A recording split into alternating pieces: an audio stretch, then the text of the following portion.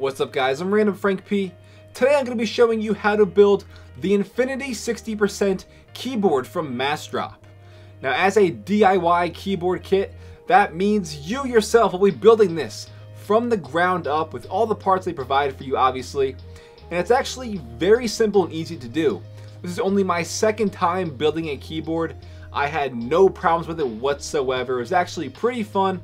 And I am just a huge fan of this compact 60% layout that they have on these keyboards. I love the way it looks. I love how it fits in with my desk setup overall.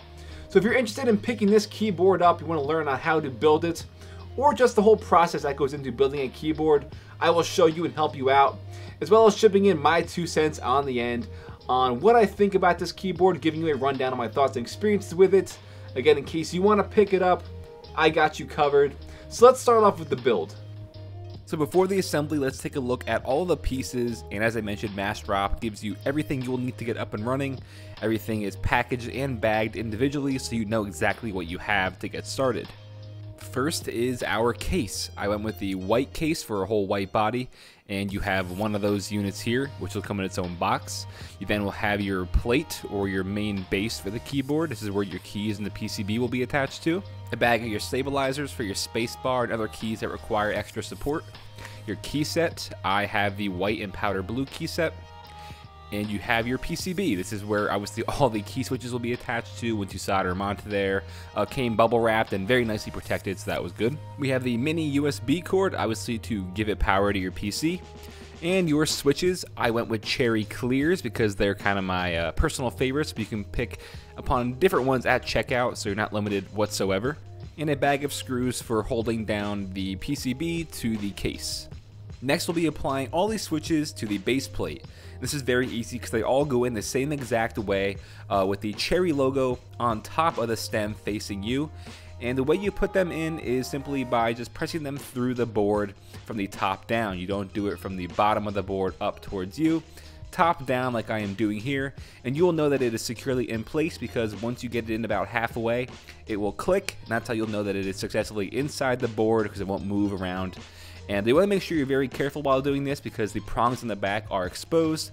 So you don't want to chance, you know, bending or breaking them since they are um, on the back and you'll be touching them. So you're going to do this for all 60 of these switches into the plate.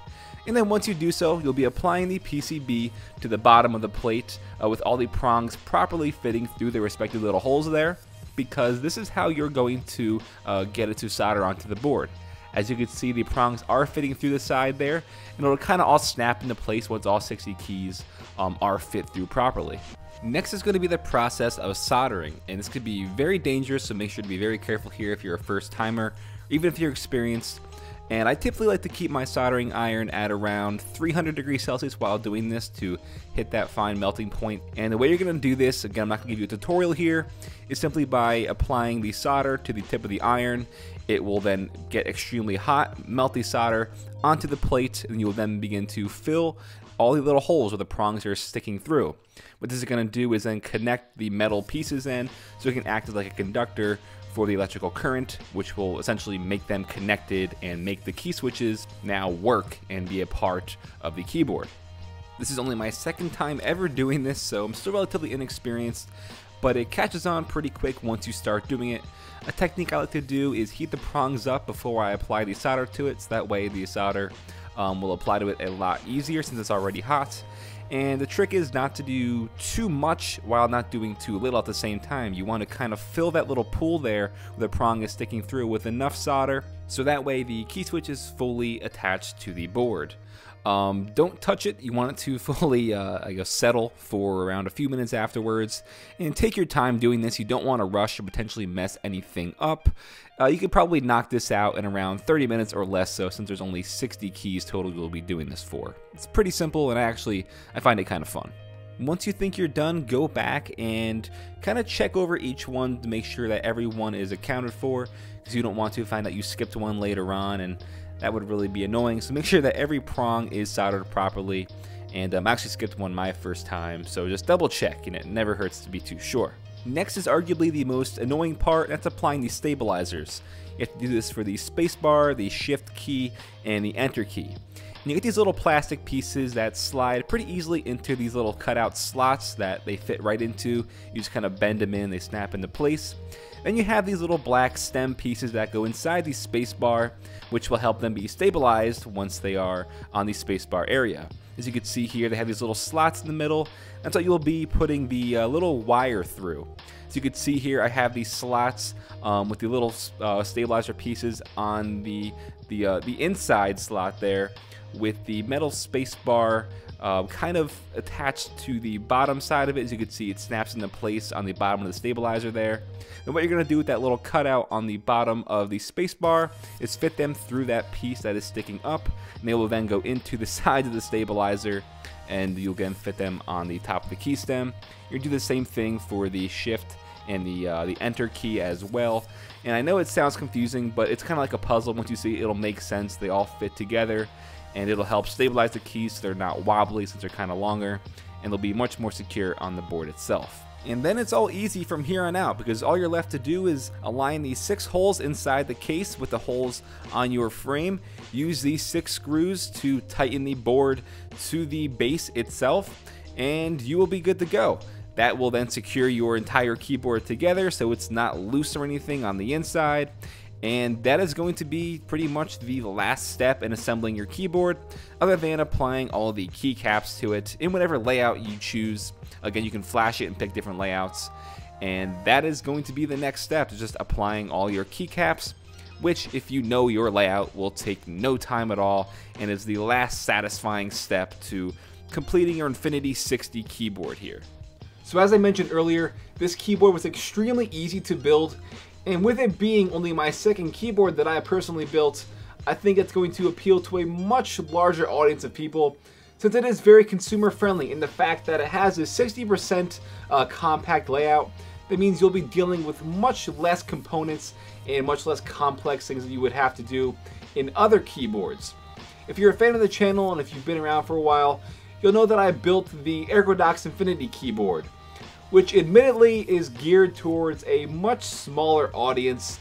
Uh, so this is going to be a lot more uh, appealing to the normal person who wants a keyboard. I love the way it looks.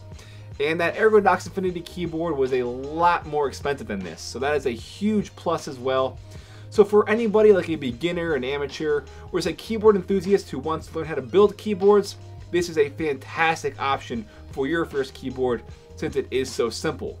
Now getting into my overall experience with it, other than the fact of it being so simple to build, it is an extremely solid keyboard and I'm a huge fan of that. Upon checkout on Massdrop, you can go and customize it at the end, um, getting certain things like different keycap sets. I went with the white and like powder blue option. Uh, you can get different switches inside.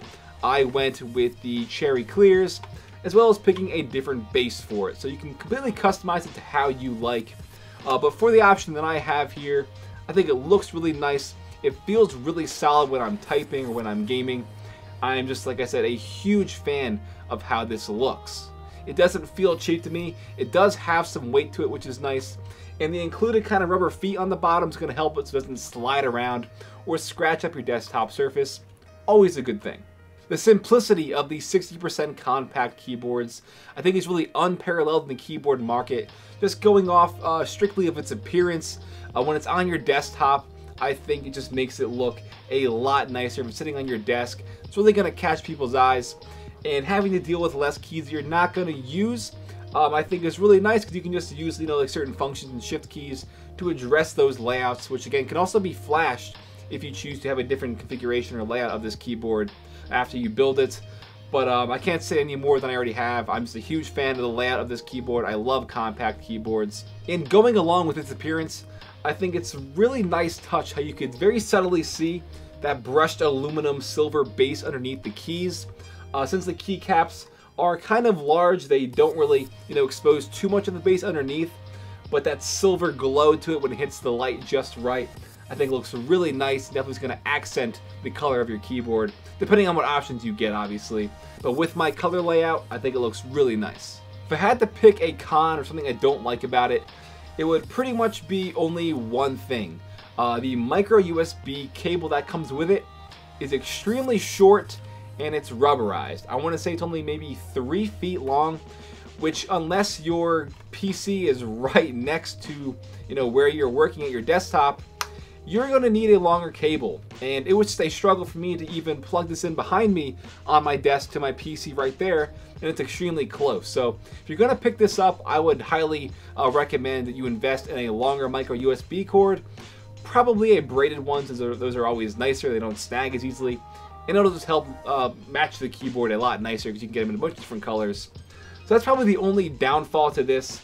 And uh, it's considering that's the only downside, I think that tells you a lot about this overall. Very solid construction, looks really nice. Gives you uh, the, op the option to upgrade in the future as well if you want to swap out different switches, if you know how to unsolder and stuff like that. Switch out the base of the keyboard, switch out the keycaps. Love this thing to death, and I would highly recommend it. But also, don't forget, it does not come with a soldering kit, so unless you have one already, you will need to pick one of those up I will put my kit in the description down below that I got from Amazon. Very, very cheap. It got the job done with no problems at all. So keep that in mind. You'll need a soldering iron if you don't have one already. That's pretty much going to wrap it up, guys. I hope you enjoyed my little review and build guide for the Infinity 60% DIY keyboard from Massdrop.